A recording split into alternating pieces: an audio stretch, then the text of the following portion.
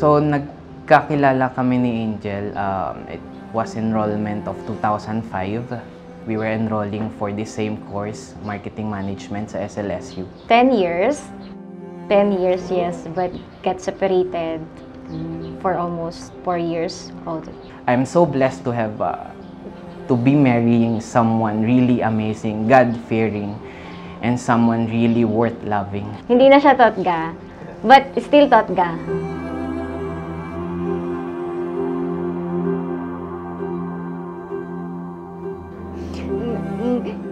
Noong pa man ay talaga, nag-aaral ka pa mamaliit ka pang bata.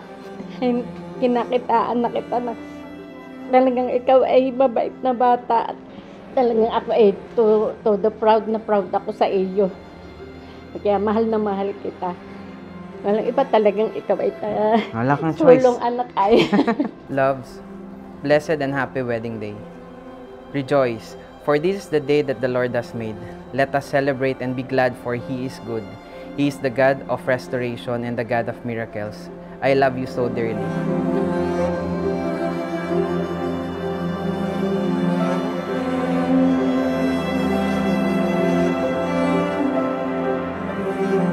Loves, I love you.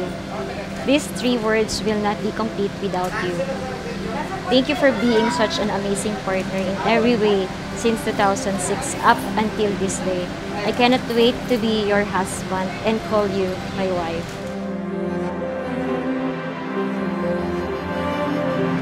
Thank you, loves. Truly indeed, the Lord is good.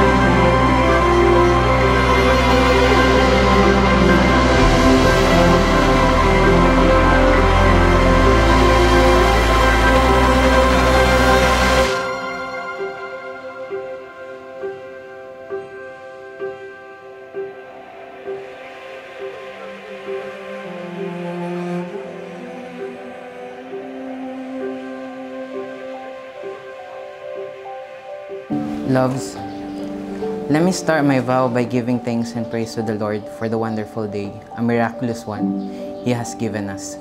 Glory be to His name forever. Loves, the memories of March 15, 2006, yeah, now, is still fresh in my mind. It has been 15 years since that night. Who would have thought that the girl whom I met during college enrollment of 2005 is the same person, a woman I am professing my vows to now. If that is not a miracle, then I don't know what that is. Nagsimula sa simpleng hangarin at panalangin, nawa ay ipagkaloob sa akin ng taong aking unang mamahalin ay siya ring aking iibigin hanggang sa huli. Salamat sa Diyos sa yaman ng kanyang habag at pagmamahal, ikay muling ipinagkaloob sa akin. Indeed, He is the God of all flesh and nothing is too hard for Him to do. No purpose of Him will be thwarted. He is a God of restoration and He is a God of miracles. I am marrying the right person, one God sent me.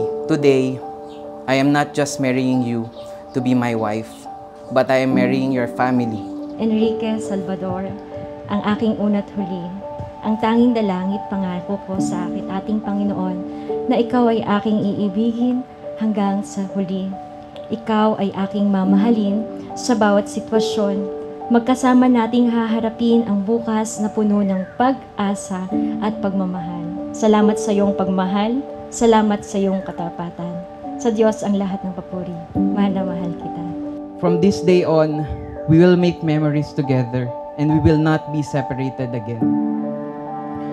I cannot wait to see our little Rico and little Angel and to tell them how God has written our love story. Neither this pandemic nor Roque can stop what God had already planned. No GCQ or ECQ can hinder this union that God has planned for us. I love you so much.